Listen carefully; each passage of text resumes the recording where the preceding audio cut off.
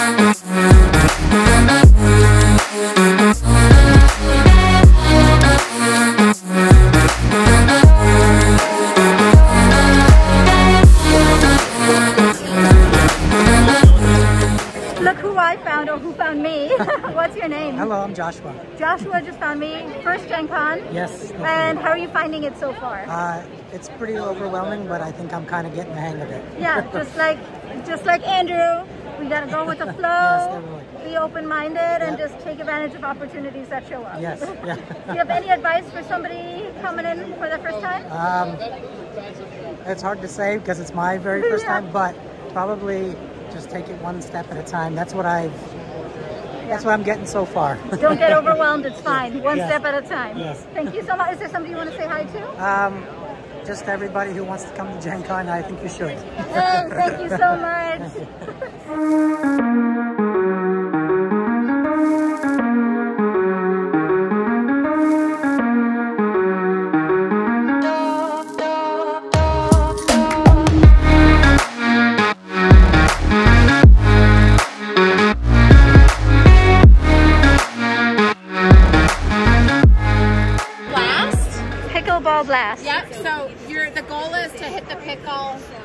knock over all those three jars, and you want to knock three jars. Yeah, so you want to hit it. Okay. Oh wait. Oh, because it goes over to you. Yeah. So he just got oh. one. Oh. Yeah. Okay. Okay. Yeah, not a game for me. That's so funny. Oh, no, no. Oh, oh, oh. nice. Oh. oh. Oh, You just knocked over your yeah. own. I was going a little. Oh. oh Defending. It's all about defense. You're about offense. Oh, Oh man. Andrew, you gotta protect your last pickle. Oh, extra points for spinning. oh, okay. Ah.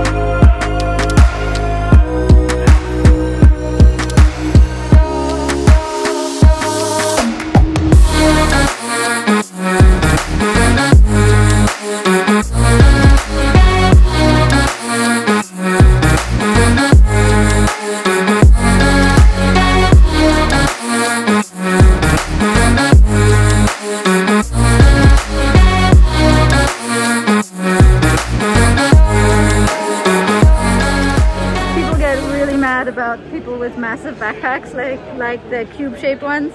They're fine. They're fine. Guys, stop freaking out about people with carts and rolling trolleys and big backpacks.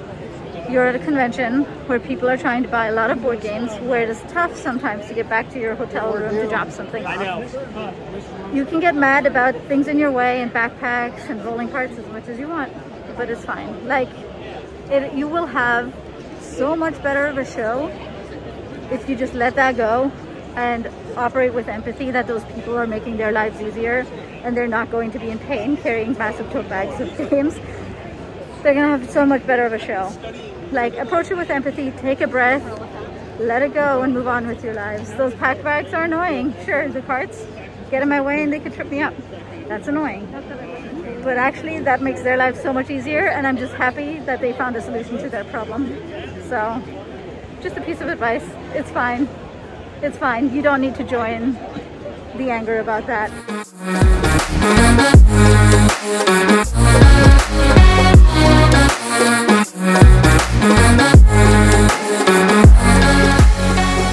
So booth 517 is the same booth uh, that was here last year. They are called what? This booth, Gothic American, the Great Gothic American, something like that. Anyway, they give you vampire teeth um, attachments for your teeth. And I did that last year, if you check last year's vlog, but I had a lingual bar in the back of my top teeth last year. And he really had to work around it to get those teeth fitted on me. I no longer have that lingual bar. So the teeth don't really fit me anymore. And I went to check to see if I need a new new set or can the teeth that I already have be modified. And he said that they could be modified, probably. So I'm gonna run up to the room, grab my teeth, and we'll see if he can just like make quick change to them. And that way I don't have to buy a new set So let's grab my teeth and come back in and see what we can do. But I gotta get all the way to the Westin and back and get my teeth changed out. So fingers crossed.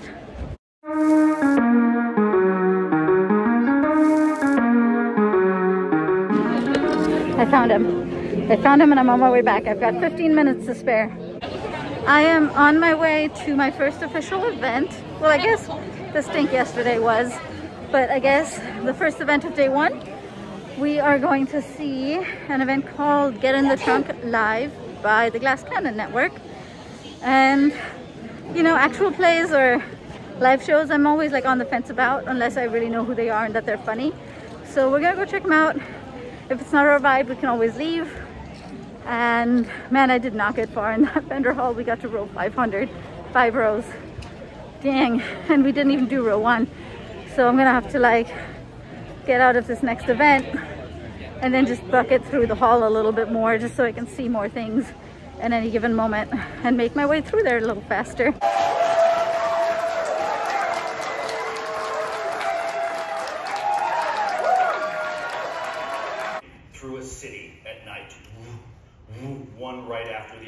Splashing through a puddle. Okay. Yeah. And we see through your windshield these two SUVs make a turn uh, out of Manhattan and appear to be heading over the 59th Street Bridge.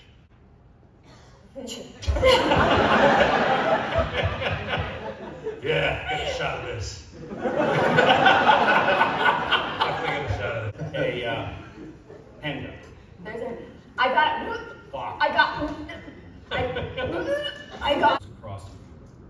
His hair is like wet and kind of like down in his eyes a little bit.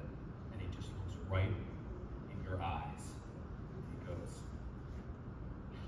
oh, give me a sanity roll. Oh, the where? That's what I'm talking about. We were leading up to that. Yeah. Yeah.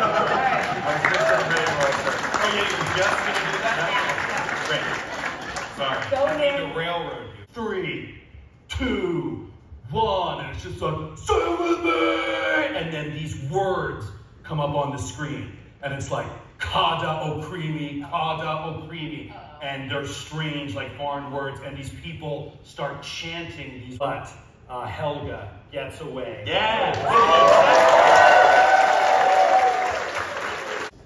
To be continued. Wow!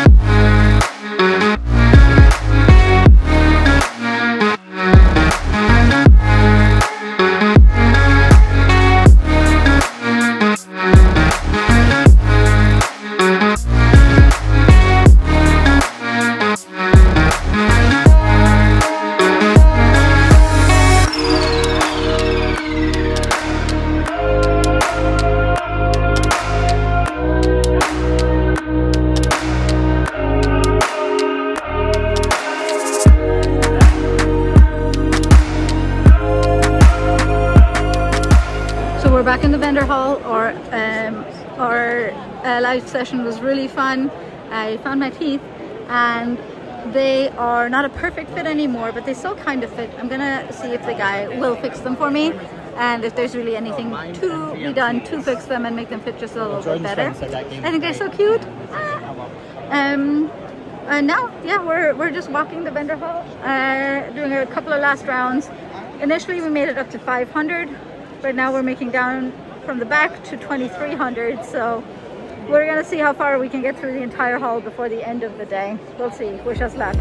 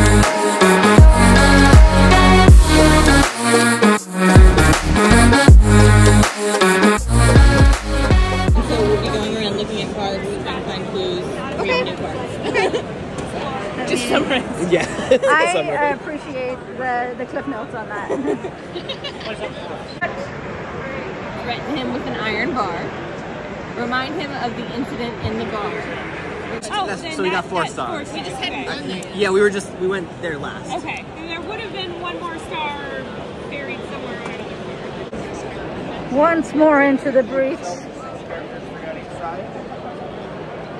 We're exploring the vendor hall.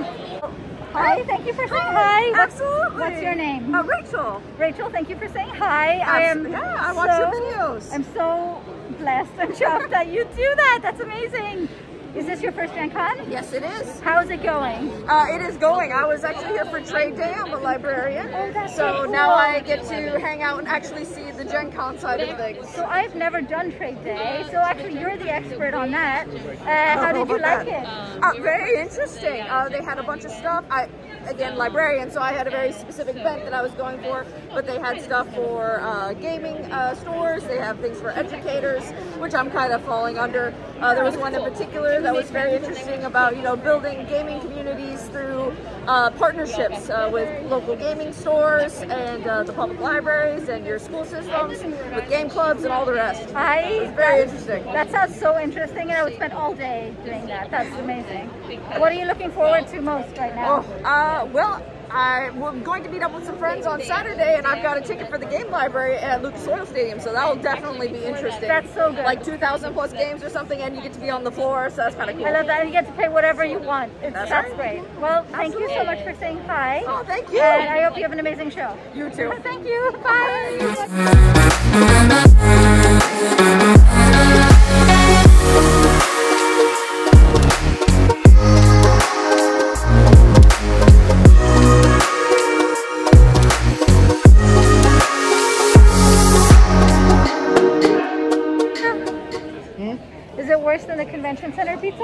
It's probably maybe slightly better. Okay. Maybe maybe about even. I don't know. I can't remember if I had the convention pizza or not. Did you see anything you liked in the hall? Too, too many things, just not enough money. Did you buy anything? Yeah. Like after game one, He sure did. You'll have to show me later. Panda, did you get anything nice? Yes. Oh, she did get a boot. I got She got two, boops. Two boots. Two boops. Did you I get anything else today? Um, I did. I got some tentacle candlestick holders for my son who requested them. Oh, that sounds great. Yeah. I got a bag. I'll show you guys later. I may have already shown you. Andrew, did you buy anything today? Oh yeah, I got the new player's handbook. Oh, that's right. You'll have to show us. Somebody's somebody's special and lined up and got a ticket. Oh yeah, yes. With the help, I'm gonna call Nick and Jerry. Help me out. Let me know when the tickets actually came back. There you go. You just got to keep keep checking. Yeah. Keep checking. It's People though. return their tickets all Yeah. the time.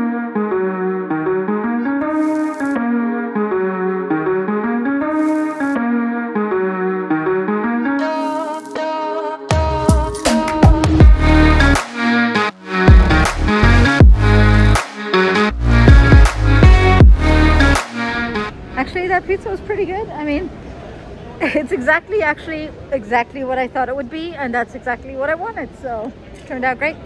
Getting Starbucks for a quick pick-me-up in between games. And uh, yeah, we'll just keep moving. I've been masking a lot today because I've been seeing a lot of stories on the Fans of Gen Con Facebook page about people getting sick. The worst thing that could happen is if Derek gets COVID before the show really gets going. So I'm gonna do whatever I can to protect him from getting sick. Me getting sick is gonna make everything worse. So um, I'm gonna mask up and just make sure that I do whatever I can to avoid having COVID and getting Derek sick because uh, the show needs him and he is powering through and doing God's work out there.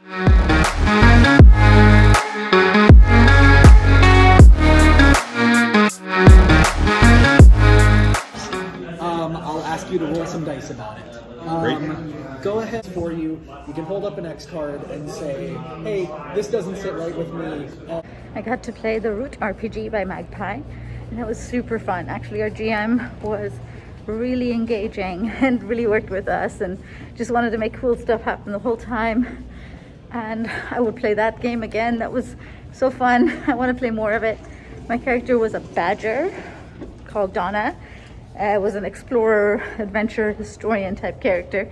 And uh, everybody at the table was amazing and we just did cool weird stuff. And look how quiet it is. Ooh, that was so funny. Look who I found, Matt. Hello.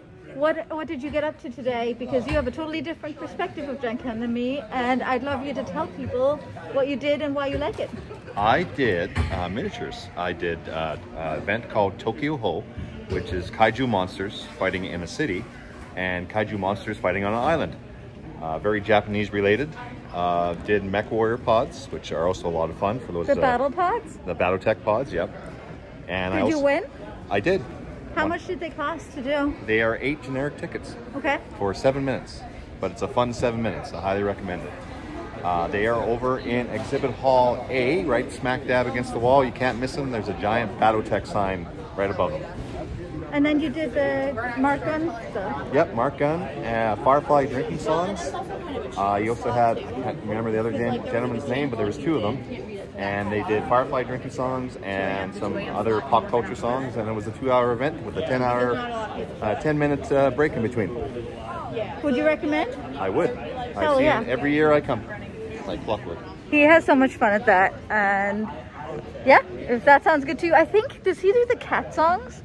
He does do the cat I think songs, I went to see his cat songs once. Now's your time. Will call is empty. So what time is it?